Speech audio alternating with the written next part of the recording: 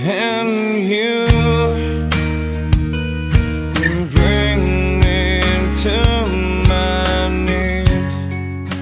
I happened upon some literature entitled Orbis Imperium Modus, as it has been called, or Globus Motivo Operandi.